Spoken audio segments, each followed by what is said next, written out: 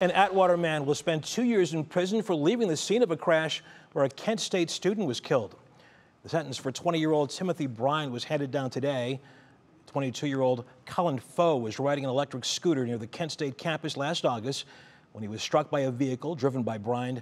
Police say Brind left the scene and then took measures to conceal that crash.